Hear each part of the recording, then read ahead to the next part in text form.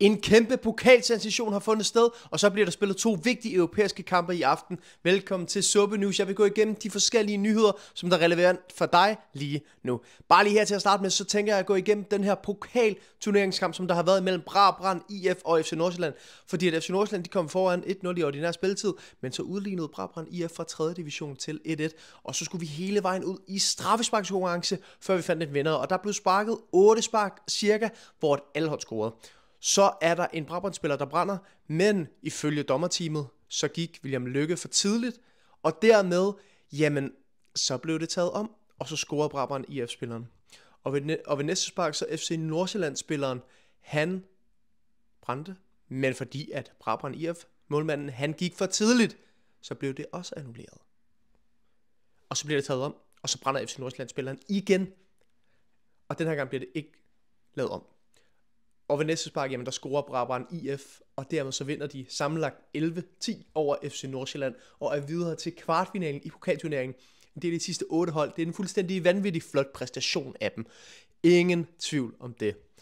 Videre til de næste vigtige ting, og det er først og fremmest, at FC København skal spille mod Real Betis fra Spanien, som ligger i Sevilla. Og det bliver en enormt spændende kamp, den her. Den bliver spillet i Spanien, den bliver intens.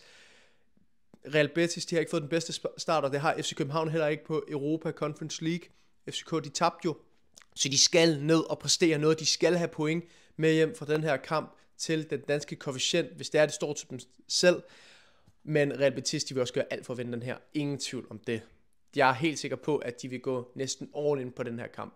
Og det vil FCK også. Og det er også vel at mærke, selvom de under tre døgn senere, tre døgn senere, så skal de spille på Brøndby Stadion kl. 12. Så deres optag til den kamp, den bliver ikke optimal overhovedet. Og det gør selvfølgelig også, at Brøndby, de skal vinde den kamp. Hvis det er, at de vil holde sig i mesterskabskampen 100%, og hvis det er, at de gerne vil blive ved med at kunne beholde Jesper Sørensen som træner, fordi taber han den her, så tror jeg snart ikke, at der er plads til ham mere i Brøndby IF. Videre til den næste kamp, det er FC Midtjylland på hjemmebane imod Royale Union saint gilloire Tror jeg, man udtaler det.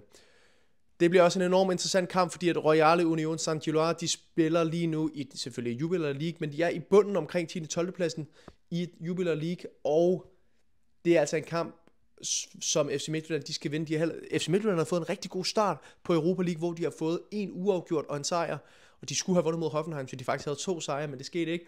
Og Royale Union San Luis, de har tabt en kamp og spillet en uafgjort. Og jeg tror altså, at FC Midtjylland, de vinder den her kamp 3-1. FCK's kamp tror jeg ender 2-2. Jeg tror faktisk, at FC Midtjylland, de kan, fordi at de har en rigtig fin og flot rutine i europæisk fodbold. Så det er min gæt. Men det var de nyheder, jeg havde for nu. Hvis du er ny omkring her, så husk at subscribe, like videoen og skriv en kommentar omkring ting, jeg skal gøre bedre, eller kampens resultater, et eller andet. Det er helt op til dig selv. Hvem er det, der først kommenterer? Det finder vi ud af. Vi ses.